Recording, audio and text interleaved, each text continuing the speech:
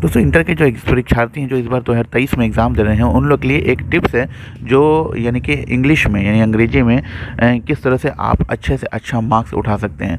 जी दोस्तों, मैं आपके लिए लेके आया हूँ कुछ ऐसे टिप्स, जिसको आप याद करके या उसको ध्यान में रखते हुए आप जो है अंग्रेज़ी में बहुत ही अच्छे मार्क्स ला सकते हैं और जो है बिहार में आपको टॉप करने की संभावना बढ़ जाती है। जी हाँ दोस्तों तो आज मैं आपको बताने जा रहा हूँ तो वीडियो में अंत तक बने रहिए, क्योंकि मैं ऐसे ऐसे पॉइंट बताऊँगा, जो आपको एग्ज़ाम में बहुत ही ज़रूरी हो जाएँगे और उस तरह से आप अगर तैयारी करते हैं तो आपको काफ़ी अच्छे मार्क्स आने के चांस रहते हैं। तो जी हाँ दोस्तों स्टार्ट करते हैं। देखिए आज मैं आपको बताने जा रहा हूँ जैसे कि मैंने फिजिक्स केमिस्ट्री बायोलॉजी तीनों के बारे में बता दिया है और आ, ये जहाँ तक मैंने ये भी बताया कि मेरी राय नहीं रहती है, लेकिन ये जो है जो टॉप एक्सपर्ट होते हैं, जो कहीं के प्रोफेसर होते हैं लेक्चरर होते हैं, उनकी राय रहती है, ठीक है? तो आज जो मैं आपको इंग्लिश का जो जो भी टिप्स दे रहे हैं, वो है डॉक्टर सुबोध कुमार झा, ठीक है? ये अंग्रेज़ी डिपार्टमेंट के विशेषज्ञ, ठीक है?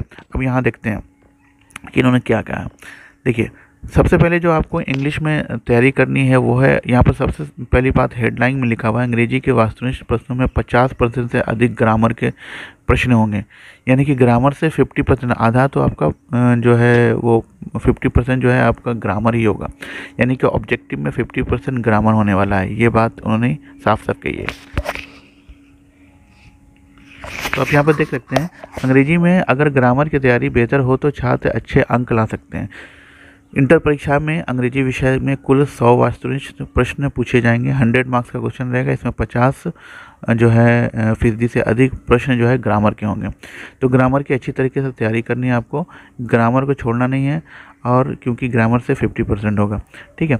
उसके बाद देखिए अंग्रेज़ी में चैप्टर को पढ़ें और बिना देखें उत्तर लिखने का अभ्यास करें, इससे भूलने की समस्या दूर हो जाएगी।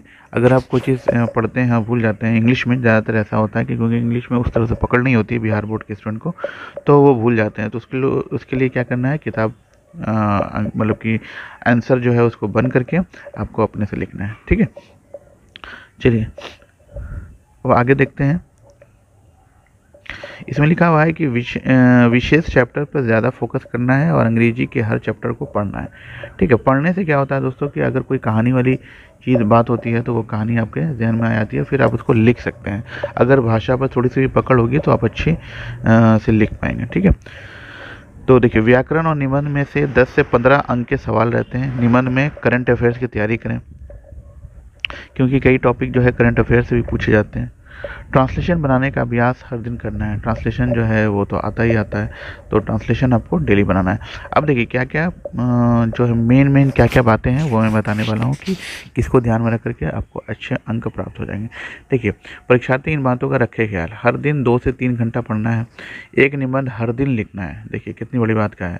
ये चीज़ हम लोग करते नहीं हैं। एक निबंध जो है, हर दिन लिखना है। उसकी शब्द सीमा कितनी होनी चाहिए? एक सौ पचास होनी चाहिए। कंप्रीहेंशन और पैसेज भी हर दिन बनाएँ। फिर ओ एम आर शीट को अच्छे से भरने की कोशिश करें। हर दिन अंग्रेज़ी अखबार पढ़ें। परीक्षा हॉल में कंप्रीहेंशन पैसेज लिखने के बाद कम से कम तीन बार रिवीजन करें। यानी कि लिखने के बाद छोड़ने देना है आपको। तीन बार रिवीजन करना है कि आंसर सही है।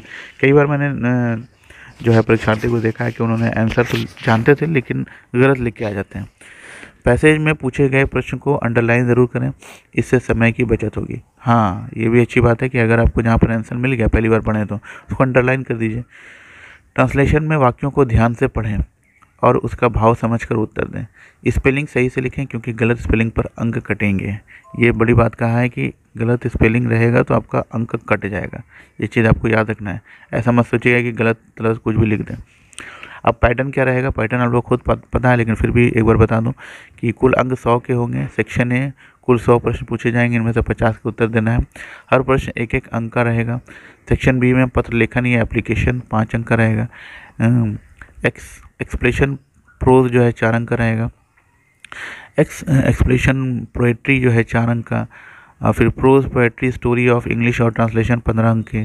प्रश्न एवं उत्तर प्रोज में पाँच अंक। प्रश्न एवं उत्तर पोइट्री में पाँच अंक और कंप्रीहेंशन या प्रेसिस में चार अंक। तो इस तरह से आपका रहेगा प्रश्न पैटर्न इसी तरह से आपको तैयारी करना है, जिसमें ज़्यादा अंक है उसको अच्छे से तैयारी करना है ठीक है? तो ये सारी बातें मैंने आपको बता दी। इन बातों पर ख्याल रख करके आप अंग्रेज़ी का जो है अच्छे मार्क्स ला सकते हैं। तो दोस्तों, कैसा लगा वीडियो?